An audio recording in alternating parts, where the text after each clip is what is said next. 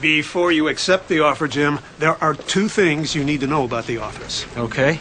First, you'll need to lose the pants. What? Well, this is a European company. We all wear thongs. I did. So Just no idea. Here, let me show you what I'm talking about. What's the second thing?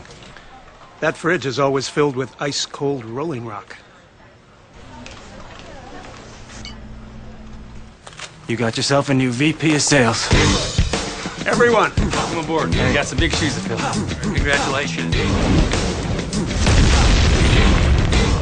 What do you wear on casual Fridays? don't ask.